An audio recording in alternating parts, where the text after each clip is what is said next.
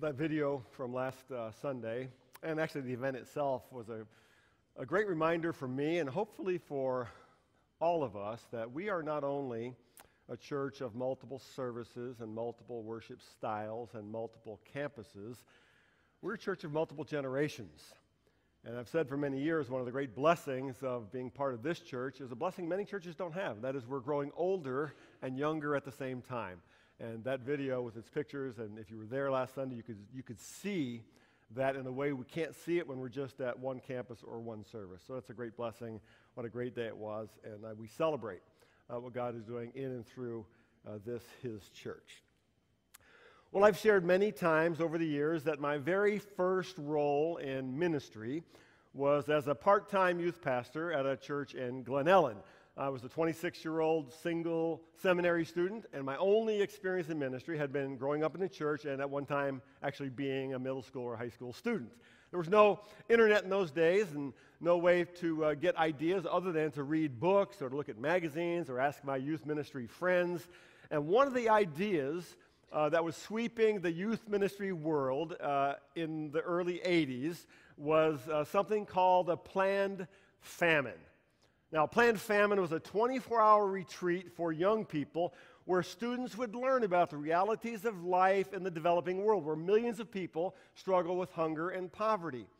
And the, the plan was you would um, do this event, an overnight retreat, and you would feed the students, high school students, only rice and water for most of the 24 hours and you would uh, expose them to what was happening in the rest of the world, teach about what Jesus, how Jesus wants us to respond with great compassion and generosity, and then at the end you'd wrap up with a decent meal, uh, pizza or something. Well, I like the idea, uh, but I thought I could make it even a better idea, uh, make it have it have greater impact on these students' lives if I made the famine part a surprise. Does that sound like a good idea to you? Doesn't to me now either. But I sent out the flyers, going to have this overnight retreat, and I knew they would be coming with all kinds of excitement, expecting to have fun and eat large quantities of, of pizza and what else, you know. And they arrived at church, and once they got all there, I announced, surprise, this is a planned famine event. You're not going to get pizza. In fact, I decided to go uh, cold turkey, actually, no turkey at all, no rice at all, just water. And then I went around and I confiscated all the Twinkies, chips, Skittles they'd brought along with their sleeping bags, and I started teaching them about the realities of world hunger. And as you might guess, it was about two hours in, and I had a full scale mutiny on my hands. I'm talking violent revolution. Uh, kids were sneaking around trying to find where I'd stashed the food. Some were breaking out of the church and crossing the street to a convenience store to buy candy bars. One kid even broke a window in the bottom of the church to escape the church building. True. What I learned through that planned famine event is that not even a seminary education can keep you from being a complete knucklehead. That's a great learning. now, the event failed uh, because I had failed to prepare the students for what was going to be asked of them. Our theme this fall is with Jesus. And one of the great themes of the Gospels, Matthew, Mark, Luke, and John, where we see the story of Jesus, is what happens when people are actually with him. What life looks like when Jesus is with them. Now, we're going to start in Luke chapter 14. And at this point in the gospel narrative, uh, Jesus has already been teaching about the gospel, the good news of the kingdom of God, for nearly three years. He's toward the tail end of his ministry, and he's now headed toward the cross. But neither his disciples nor the crowds that are following him uh, are aware of that yet. They don't really know yet that the cross is looming just ahead. Some think he's just a new prophet. Some think he's going to re- uh, become a king like David and restore Israel to its former glory and kick out the Romans. And Jesus chooses this moment to teach about what it means to be with him. Luke chapter 14, I'm going to read 25 through 33. You can look in your Bibles or watch on the screens, screen as I write, as I read. Now, great crowds accompanied him. We'll talk about the crowds in just a moment. And he turned and said to them, If anyone comes to me and does not hate his own father and mother and wife and children and brothers and sisters, yes, and even his own life, he cannot be my disciple. Whoever does not bear his own cross and come after me cannot be my disciple. For which of you, desiring to build a tower, does not first sit down and count the cost, whether he has enough to complete it? Otherwise, when he has laid a foundation and is not able to finish, all who see it begin to mock him saying, This man began to build and was not able to finish? Or what king, going out to encounter another king in war, will not sit down first and deliberate whether he is able with 10,000 to meet him who comes against him with 20,000? And if not, while the other is yet a great way off, he sends a delegation and asks for terms of peace. So therefore, any one of you who does not renounce all that he has cannot be my disciple. Now, this is arguably among Jesus' most difficult teachings. Um, and I have to admit, it's a very difficult passage to, to preach adequately on. Uh, it sounds very harsh to our modern ears. What could he possibly mean by hate your father and mother, your sister and brother, and your own children? Well, let's dig in and see if we can understand. First thing Jesus is saying here in this passage is that being with him being with Jesus means leaving the crowd. Being with him means leaving the crowd. Many of you know a little bit about the story of a historical figure named Charles Blondin. Actually, was born Jean-Francois Gravelet, a French acrobat who achieved enormous fame and wealth in the mid 1800s by crossing Niagara Falls on a tightrope. Uh, Blondin actually became so famous that Abraham Lincoln actually compared himself to Blondin in the presidential election of 1864. But in the summer of 1859, the great Blondin, as he liked to call himself, stretched a tightrope over Niagara Falls, 160 feet above the water, and some over 1,000 feet long, with no safety net, and proceeded to walk across. Uh, and the crowds who gathered to watch this held their collective breath. Nobody had ever seen anything like this before. And over the coming weeks and months, that year and the couple of years that followed, he continued to draw bigger and bigger crowds by repeating the crossing, only he would do it in different variations each time. For example, he would walk while juggling, he would walk across blindfolded, he would walk backwards blindfolded across the, the, the tightrope, he would walk while carrying a chair, at one time balancing the chair on one leg and climbing up on it and standing on it. He was an amazing acrobat. He walked across that tightrope on stilts one time. Sometimes he would push a wheelbarrow across loaded with a sack of potatoes. And so he drew crowds and crowds and crowds. He was making enormous fame and even money for himself. The story is told that after pushing a wheelbarrow across one time, that Blondin then challenged the crowd whipping him up into a frenzy. Do you believe the great Blondin can cross the tightrope? Yes, yes, we believe. Do you believe I can push a wheelbarrow across? Yes, we believe. We've seen you. Do you believe I can push a man in the wheelbarrow across? We believe. And he said, Now I need a volunteer. There is a story that's, I don't believe, apocryphal that he eventually carried a man on his back across who happened to be his manager. But no one volunteered that day to get into the wheelbarrow. See, there's a big difference between being in the crowd and being with Blondin. So Luke writes, Now the great crowds accompanied him, and he turned and said to them, If anyone comes to me and does not hate his own father and mother and wife and children and brothers and sisters, yes, even his own life, he cannot be my disciple. Now Jesus here is distinguishing being in the crowd from being a disciple. Being in the crowd is to be curious about Jesus. Being in the crowd is to be intellectually interested in what he's talking about, maybe even to be mildly inspired by him, but not necessarily a disciple. Being in the crowd is to be a spectator, hoping to see Jesus do something amazing. Maybe he'll do a miracle. Maybe he'll heal someone. Maybe he'll give me food when all I have is stones. See, many in the crowd those days were watching and following him because he would become kind of a celebrity. There's a difference between being in the crowd and being a disciple. To be a disciple is different. The word translated disciple in Greek is mathetes, and it means one who learns, one who follows. It means both following the teachings of and living the lifestyle of the one who is the master. And if we apply this to Jesus, it means one who anchors his or her faith, one who anchors his or her identity, one who finds his or her purpose, hope, and life itself in Jesus. So, what does Jesus mean when he says in verse 26 if anyone comes to me and does not hate his own father and mother, and wife and children, and brothers and sisters, yes, even his own life, he cannot be my disciple. Now, obviously, here, he's not using the word hate in the way we sometimes use the word today. We know this because in other places, Jesus actually teaches us to love one another. Jesus affirmed God's commandment to honor your father and mother. Jesus taught us to love our neighbor as ourselves. So here he must be using the words hate and love in a different way, and he is.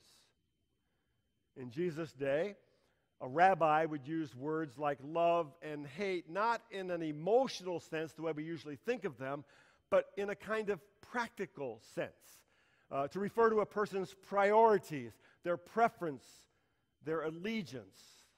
Think about it like this. If I say, if I say I love the Cubs, I'm saying that I'm a loyal fan, that they're my favorite team. But if I said that in the way an ancient rabbi would say it, uh, I would be meaning by definition that I hate all other teams. If I say I love chocolate ice cream, I would be saying that by comparison, I hate all other foods. Meaning that my interest in and my fondness for any other team or any other food pales in comparison to my allegiance to the Cubs or my preference for chocolate ice cream. You get it? That's what he's saying. So when Jesus says, unless you hate your father and mother and your wife and children, you cannot be my disciple, he's saying that our love for him, our devotion to him, must cause all other loves to pale in comparison. He's saying that being his disciple, being with him, demands and produces a radical change of allegiance and identity. If we look at John chapter 1, there's a beautiful story of the calling of the very first disciples. I'm going to read it for you because I think it illustrates what we need to see here. John 1:35 we read, "The next day John was there again with two of his disciples. This is John the Baptist, who was seen as a prophet and had his own followers, his disciples. When he saw Jesus passing by, he said, "Look, the Lamb of God." Now, that's a big deal, giving Jesus that title. I'll talk about that in just a moment. Verse 37 When the two disciples heard him say this, they followed Jesus. Turning around, Jesus saw them following and asked, What do you want? They said, Rabbi, which means teacher, where are you staying? Come, he replied, and you will see. So they went, and they saw where he was staying, and they spent that day with him. It was about four in the afternoon. Andrew, Simon Peter's brother, was one of the two who heard what John had said and who had followed Jesus. The first thing Andrew did was to find his brother Simon and tell him, We have found the Messiah, that is the Christ, and he brought him to Jesus. The seemingly simple little interaction, but something very profound happens here. We need to see it. First, notice that Jesus is identified here as the Lamb of God and the Christ. Now, as the Lamb of God, he would be the one that the Old Testament prophet said was coming to to rid the world of its sin, who could take away the sins of the world, the final sacrifice, the Lamb of God, whose blood sacrifices for all the sins of the world. And that's what Andrew and the other disciple saw in Jesus, the Lamb of God. Christ means Messiah, the one who comes to deliver his people. So Simon Peter's brother Andrew and another young man follow him. And then Jesus asks a simple question What do you want? But he's not just asking, you know, hey, what, what do you guys, what do you want? It's a, it's a deeper question than that. It's a profound question. He's asking, do you want to be in the crowd or do you want to become my disciples? Are you just curious? Do you want to see a miracle or two? Or do you want to follow me with your whole life? And then the two would be disciples ask their own question. They say, Where are you staying? This is their way of saying, no, no, we want to be your disciples. We want to follow you, but what will it be like? What's it going to take? And then Jesus gives an invitation come and see. Come and see. And it says they spent that day with him. They became his disciples, changed their entire allegiance, changed their entire lives. So Jesus' invitation to follow to discipleship demands a decision. To follow Jesus, you have to leave the crowd behind. To follow Jesus, you have to reorder your heart, reorder your allegiances. To follow Jesus means that your identity and purpose no longer comes from your family. Your identity and purpose no longer comes from your culture, even from yourself or your job or your education. It comes now from Jesus, who is the Lamb of God, the Christ, the only one who can promise forgiveness of sin, new birth, and eternal life. To be with Jesus means leaving the crowd. Secondly, in this passage, we see that being with Jesus is costly. Being with him is costly. Years ago, I was a volunteer basketball coach for a short time at Taylor University while I was working my way through graduate school. And one of my roles there was to help supervise uh, what we call the fall conditioning program. As guys would get on campus, everybody coming out for the team had to go through this four week uh, conditioning, grueling conditioning um, period of time, mostly about, about running, sprints and distance and so forth, to prepare for the coming season. And the final conditioning test of that whole month was something that we called the 12 minute run.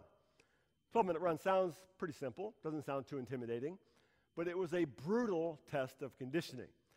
Uh, we, did, we, we had this, uh, you, you lined them up on a, on a track and you just told them to run as far and as fast as they could for 12 minutes. Doesn't sound that hard until you try to do it. Do it.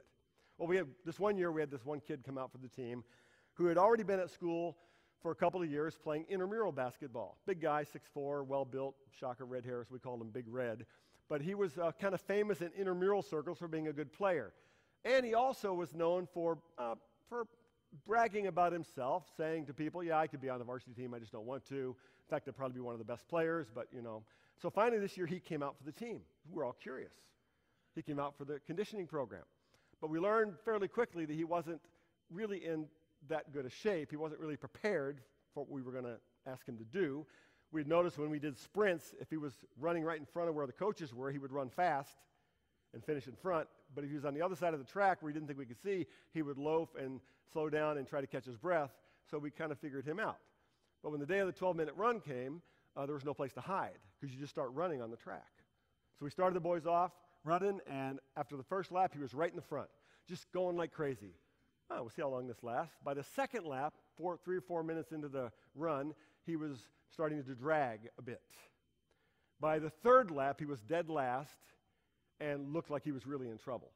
At about the eight minute mark in the 12 minute run, he was all the way on the other side of the track and he stopped running completely. He turned around and started walking back across the field to where we were. And the standing rule in this program was if you stop running, you just cut yourself. Don't care how slow you go, but you have to keep running. That was the coach's rule. So we knew he had decided he didn't want to play ball anymore. So he walked all the way across the track and we waited. You know, he came to his moment of decision, and he walked across. We were waiting to see what he was going to say. He got to us all the way across, took several minutes, and he was still breathing hard, and he had glasses on. he walked up to us, and he said to the head coach, who was right next to me, he said, Coach, I've been praying about this a lot lately, and I just don't have any peace about playing ball this year. and I'll never forget it. Without skipping a beat, the coach looked right back at him and said, Son, middle of a 12 minute run is no place to be looking for peace, he said. In other words, becoming a member of the team is going to demand a cost, a sacrifice. And Big Red was not quite prepared for the cost of a 12 minute run. Jesus continues his teaching here in verse 27 Whoever does not bear his own cross and come after me cannot be my disciple. For which of you, desiring to build a tower, does not first sit down and count the cost, whether he has enough to complete it? Otherwise, when he has laid a foundation and is not, able to finish, all who see it begin to mock him saying, This man began to build but was not able to finish. Or what king going out to encounter another king in the war will not sit down first and deliberate whether he's able with 10,000 to meet him who comes against him with 20,000? And if not, while the other is still a great way off, he sends a delegation and asks for terms of peace. So therefore, if any one of you does not renounce all that he has, cannot be my disciple. Again, sounds very, very harsh to our ears. Doesn't sound like a very good way to recruit followers does it? Seems like it would be better to say, hey, if you follow me, I promise to make you healthy and wealthy. I'm going to make your life great. I'm going to make your life easy. But that's not what Jesus says. He says, if you follow me, there's going to be a cost. It's not going to be easy. So, what is the cost he's talking about? Now, let's look at this a little bit different way. What if I ask, what's the cost of getting married? Now, we all know that there's a cost every wedding, uh, but I'm not talking about the financial cost.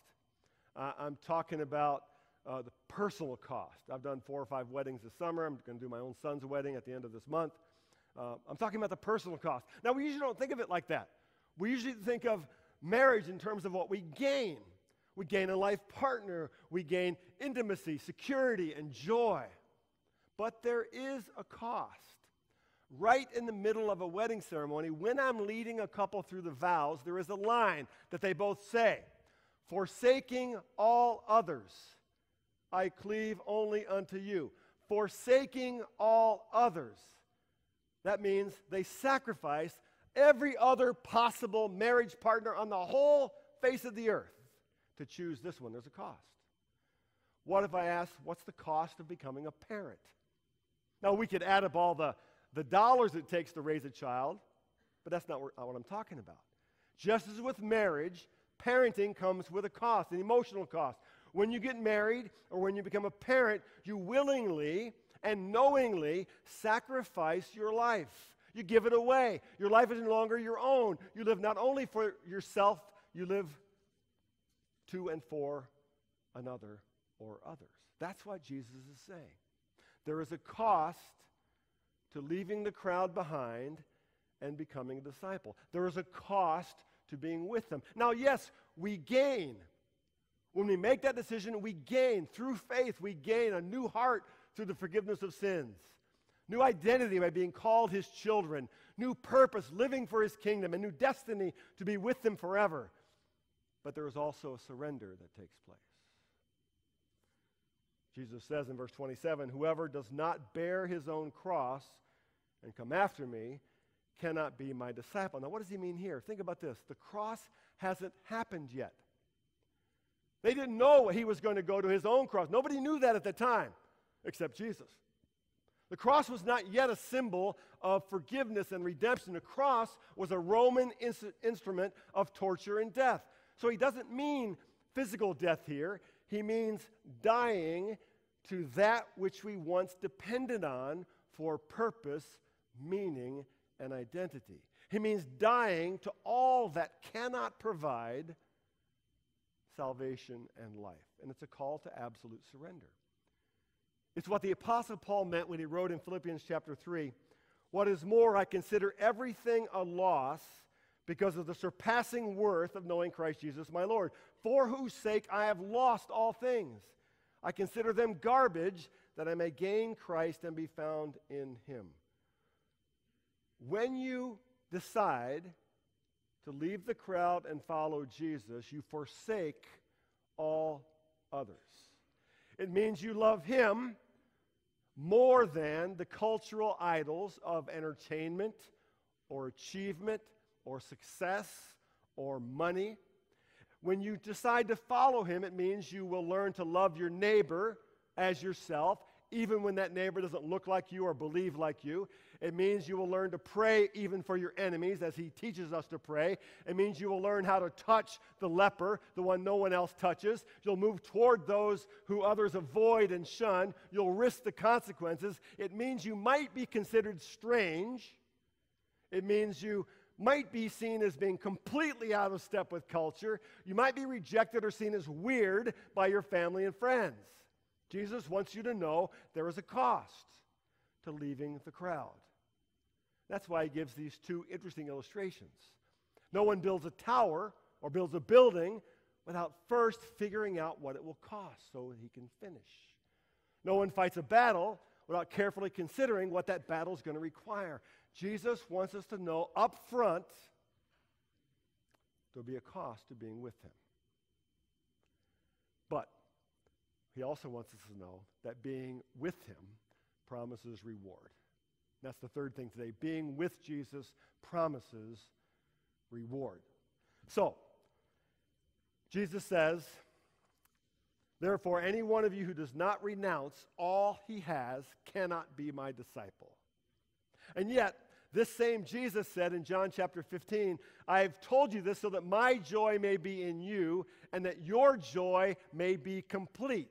This same Jesus said in John 10, I came that they might have life and have it abundantly. I am the good shepherd. The good shepherd lays down his life for the sheep. So, which is it? Renounce everything or gain a life that is full of abundant joy? Which is it? It's both. It's both. This is the gospel. That which demands everything, but gives even more. Being with Jesus demands, begins with a decision to leave the crowd and become a disciple, a follower. That means to decide that he is who he says he is. He is the Lamb of God who takes away the sins of the world. He's the only one who can forgive sin and promise eternal life. Being with Jesus grows then through surrender. It means to die to counterfeit gods, to impostors, to counterfeit lords, to die to all that cannot bring life. Being with Jesus leads then to reward. The Apostle Paul himself wrote in 2 Timothy, For I am already being poured out like a drink offering, and the time for my departure is near. I have fought the good fight, I have finished the race, I have kept the faith. Now there is in store for me the crown of righteousness, which the Lord, the righteous judge, will award me on that day, and not only to me but also to all who have longed for his appearing. It's what the apostle Peter wrote about in 1 Peter chapter 5. And when the chief shepherd appears, you will receive the crown of glory that will never fade away. It's what James, who we just studied this past summer, says in James 1 Blessed is the one who perseveres under trial, because having stood the test, that person will receive the crown of life that the Lord has promised to those who receive him.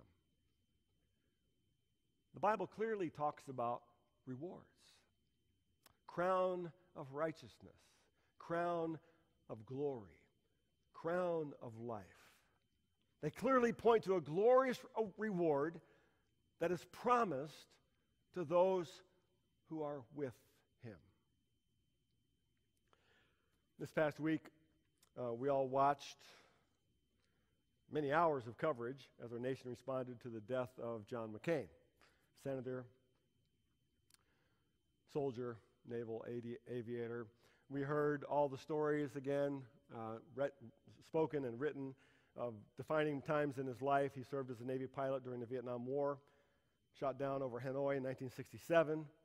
Uh, he's rejected from his plane, broke both arms and a leg in the process, captured by the North Vietnamese, held as a POW for five and a half years. We heard all those stories.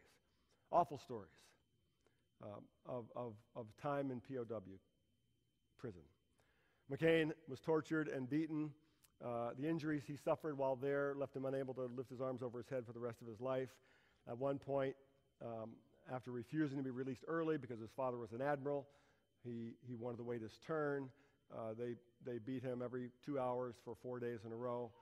Eventually, coaxing confessions out of him, he signed documents and participated in propaganda that he eventually later regretted for the rest of his life. So you would think that after that experience, McCain would have been only bitter about so much time and health taken from him. But in reflecting on those years in, as a POW, McCain often made reference, and I saw this in many, many of his speeches and written many times, he made reference to a surprising truth he discovered in the midst of brutal captivity. This is how he said it. He said, Nothing in life is more liberating than to fight for a cause larger than your own self interest. Nothing in life is more liberating than to fight for a cause larger than your own self interest. Now, his cause, of course, at that time was to fight for his fellow POW soldiers and for his country. And his cause made all else even physical deprivation and suffering, pale in comparison. Here in this passage, in this teaching, Jesus is telling us that the greatest cause, purpose of our lives is to follow Him, to be with Him. And He wants us to know that that following, that with, will come with a cost because we must leave the crowd.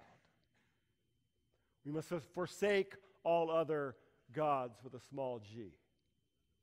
But he wants us also to know that cost pales in comparison to the promised reward. In John 14, Jesus talks about heaven, new heaven and new earth. He says, I go to prepare a place for you. And if I go to prepare a place for you, I will come back and take you to be with me. And take you to be with me, that you also may be where I am. Here's the promise of discipleship. This is where we begin our whole fall emphasis.